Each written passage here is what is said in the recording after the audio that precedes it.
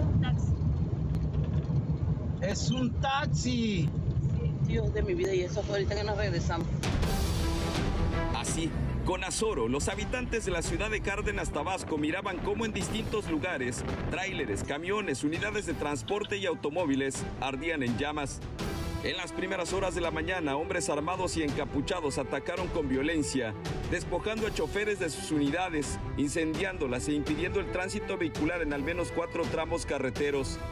La carretera Cárdenas-Coatzacoalcos, la Cárdenas-Comalcalco, Cárdenas-Villahermosa y Cárdenas-Huimanguillo. Todo en respuesta a un operativo en el que fue detenido Salvador N., líder de una célula criminal, y se aseguraron armas, cartuchos y vehículos. Esto se supo en principio por las amenazas que dejaron en algunas cartulinas y después por el parte rendido por las autoridades de seguridad. Una de estas amenazas tocó directamente a las puertas del coordinador municipal de protección civil, Gustavo Carmona, cuya vivienda y vehículo recibieron al menos 10 impactos de bala. El funcionario y su familia resultaron ilesos. Fue un amanecer caótico para la Chontalpa tabasqueña. En el transcurso de la mañana, autoridades escolares decidieron retirar a los alumnos de primarias, secundarias, bachilleres y de la Universidad Popular de la Chontalpa.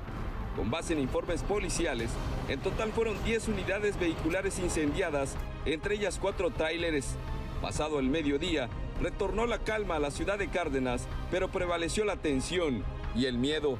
José Raúl Reyes, Fuerza Informativa Azteca.